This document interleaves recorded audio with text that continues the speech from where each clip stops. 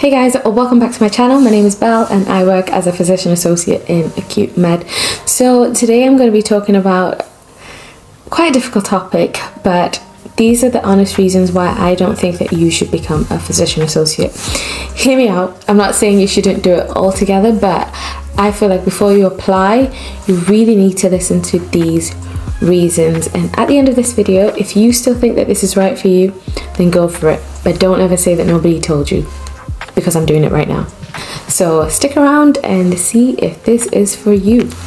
So the first thing that you want to consider is the funding. Now, Health Education England do help with a bursary, but I can assure you right now, it is not enough. You need an extra source of income. So, fortunately, before I started my studies, I worked for an IT company in Nottingham, and that was an amazing experience for me in terms of saving. But also, fortunately, and I understand that this is a privilege, my uh, parents are exceptionally supportive, so that is how I managed to get through PA school in terms of funding.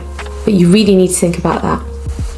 So, solutions to this problem are A, apply to a university that is close to home. So maybe you can live at home or you have family close by that you can stay with.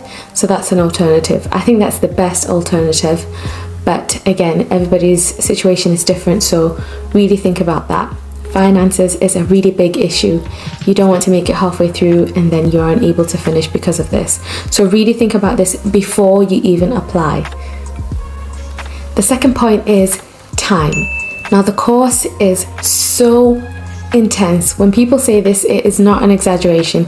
It really was the most intense two years of my life. I didn't have much time for anything else that didn't revolve around the study of medicine. So, you really need to think about this very carefully. So, I'm sure there's a phrase that says something like, No one is ever truly busy, you make time for what's important to you. It really is true. So, don't neglect the friendships in your life, the family members that you have just tell them that it's nothing personal, but you might not be as present as you were before. But remember, this is only temporary, so hopefully the people around you are understanding. Now, the situations in which applicants have a young family, for instance, uh, we had a colleague of mine, she had very young children while she was on the course, and I can see that, you know, sometimes she'd find it very difficult. I can't imagine having to do that with tiny little children. It would have been so difficult, but if she can do it, I'm sure you can too. It's not impossible, but it is rather difficult.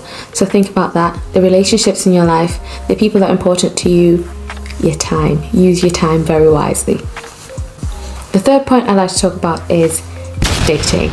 Well, when I was in PA school, it was something that was very difficult, but it's still possible. Like I said earlier on, you make time for things that are important to you, and it is important to me. But I didn't think that it was fair on the other person. So, for instance, say I was on a date or something, and every second that goes by, I'm thinking about how much content I could have covered in that time. Okay, that is not cool. That is a flaw in my personality. That is a personality flaw. Sensational. But yeah, don't do that to other people. It's not cool. So really think about whether this is something that you are ready for right now and think about the other person as well. An alternative to this is either dating somebody who understands your schedule and knows that you can't always be present just for these two years as you try to attain this goal of yours.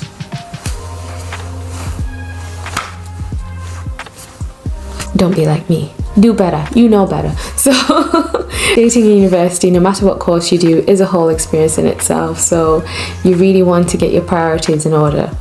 The fourth point is applying for jobs. Now, unfortunately, we had physician associate students who would wait until they have their nationals in order to apply for a job. Now, I think this is a terrible idea. The first thing that you should do is as soon as you do your university exams, or even better, be Kanye confident and just do it before your university examinations so that by the time you start your nationals you have a conditional offer. This is a really good position to be in because a by going to multiple different interviews you have more experience so that when your dream job does come up you are well prepared. Win. So don't wait until your nationals. That is really bad advice. I don't know who's going around telling people this but stop. Okay so apply as soon as you can. You never know And the final point that I'd like to make is do not apply for this course if you do not have thick skin. If you are somebody that is so sensitive, can't take criticism, do not apply for this course. The reason why is because you're working around very competitive people. And like I said, this doesn't always bring out the best in people. So definitely be somebody who is teachable, but also somebody with a backbone, somebody who can stand up for themselves. You owe it to yourself. So that brings me to the end of my video. I really hope that you can take into consideration everything that I've said. And if you've thought about it and you think that this is the right job for you, after taking everything into consideration, then definitely go for it and welcome to the field. But if you think, hmm, trust me, there are easier ways and more peaceful ways to make money. So do that instead. Okay? Now you can't go around saying that I didn't warn you because I just have. Okay. Goodbye.